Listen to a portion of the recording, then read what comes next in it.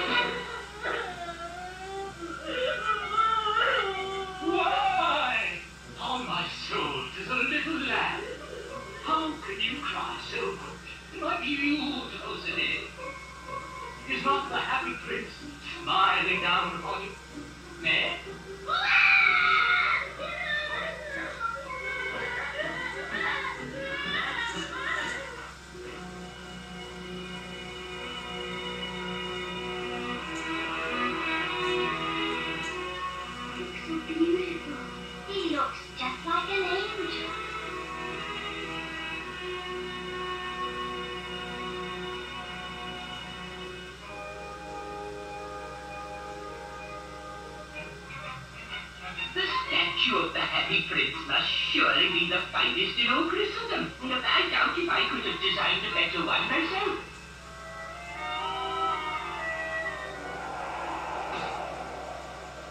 A chill northern wind blew across the square.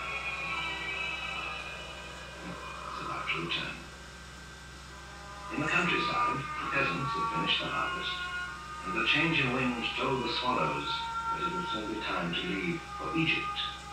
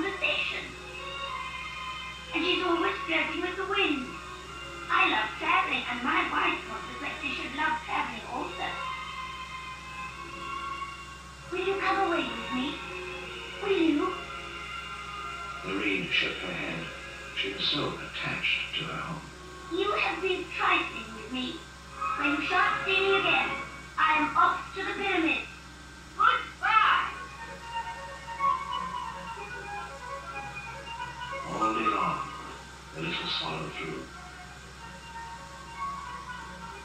By nighttime, he arrived at the city.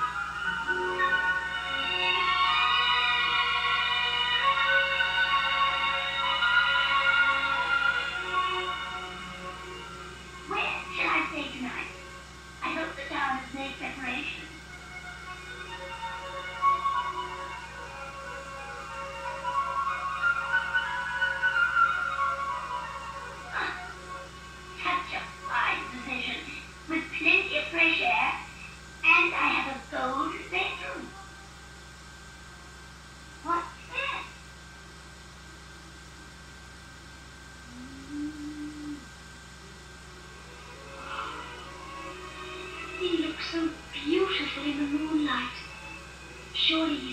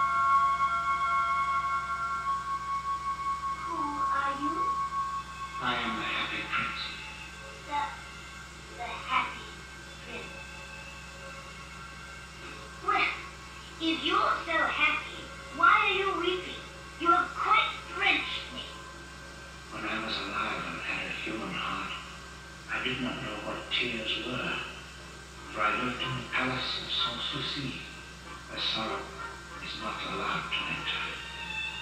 In the daytime, I played with my companions in the garden, and in the evening, I led the dance on the great hall. Round the garden was a very lofty wall, but I never cared to ask what lay beyond it. Everything about me was so beautiful. My courtiers called me the happy prince. And happy indeed I was with pleasure and happiness.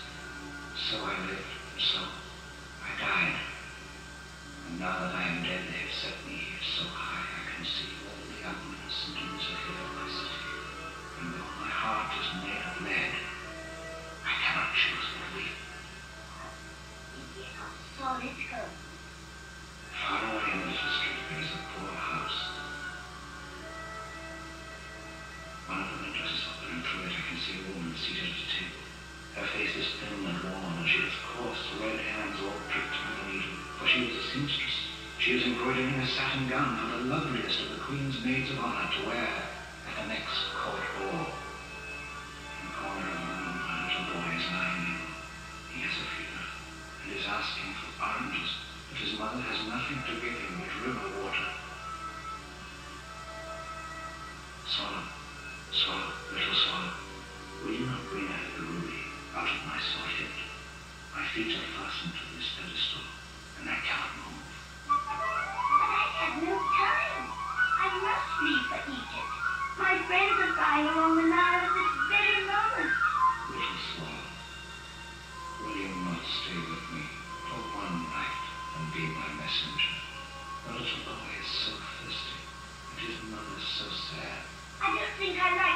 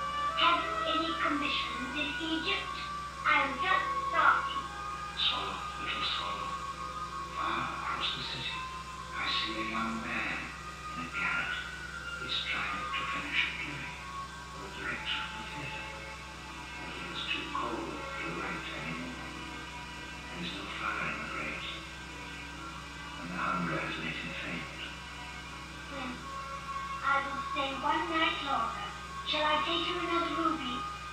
Alas, my eyes are all I have left. They are made of very rare sapphires. Pluck one out and take it to him so he can sell it for firewood and finish his play. But, but I cannot do that. Little swallow, do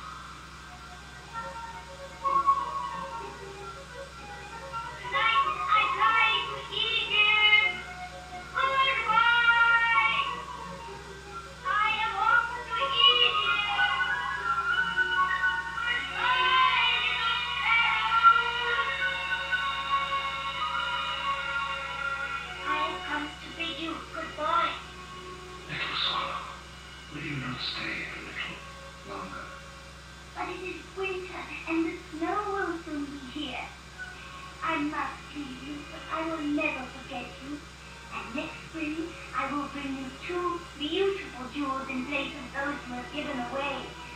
The ruby shall be redder than a red rose, and the sapphire shall be as blue as the great sea. In the square below, there stands a little match girl. She has let her matches fall in the gutter, and they are all spoiled. Her family is very poor, and her father will beat her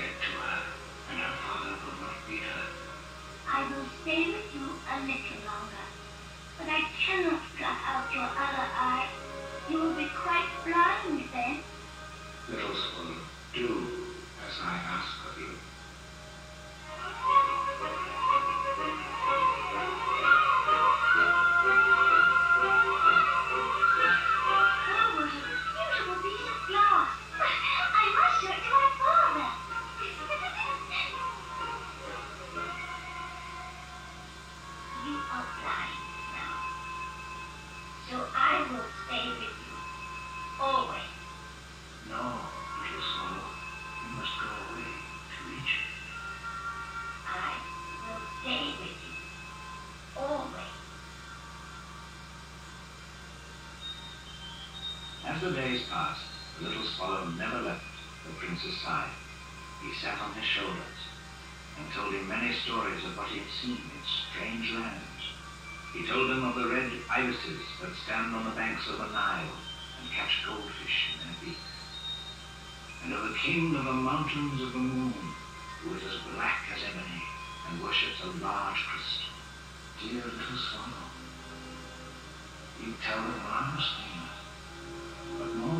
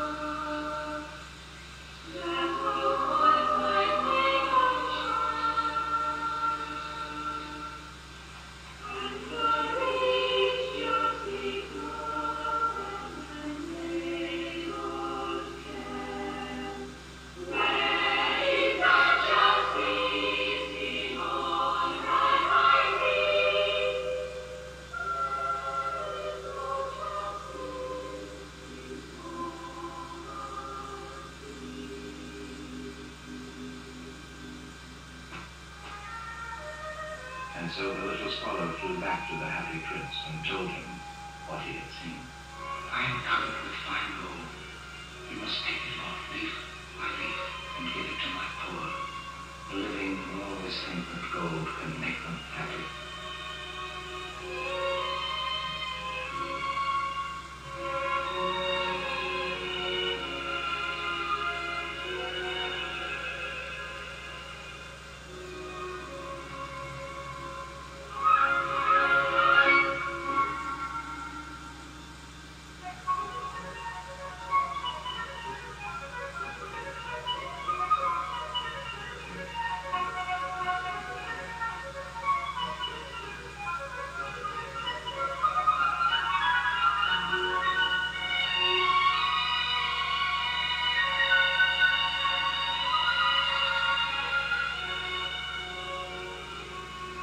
Leaf after leaf of the fine gold the swallow picked off, till the happy prince looked quite dull and grey. Leaf after leaf of the fine gold he brought to the poor. And the children's faces grew rosier, and they laughed and played games in the street. Then the snow came. After the snow frost, and the streets looked as if they were made of silver. They were so bright and glistening. Long icicles like crystal daggers hung from the eaves, and everybody went about in furs.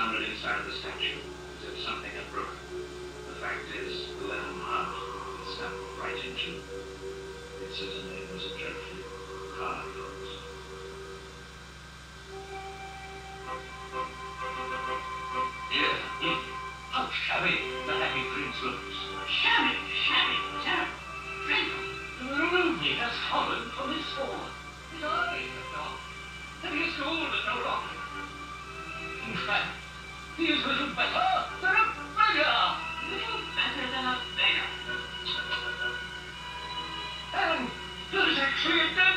Murdered his keep. We must issue a proclamation. The birds of the realm die uh,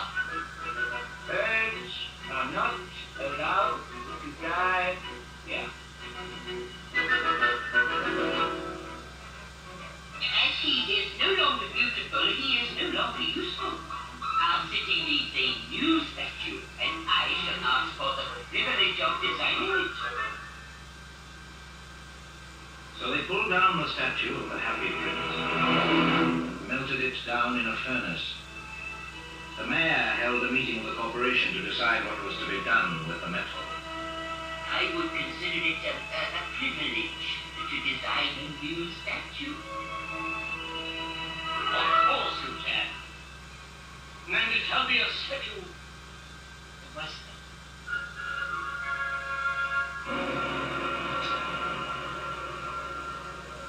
strange thing. This broken dead art will not melt in my furnace. We'll have to throw it away. And so they threw it on a dust heap, where the dead swallow was also lying. Bring me the two most precious things in the city, said God to one of his angels. And the angel brought him the leaden heart You have rightly chosen, said God. For in my garden of paradise this little bird shall sing forevermore. And in my city of gold the happy prince shall praise me.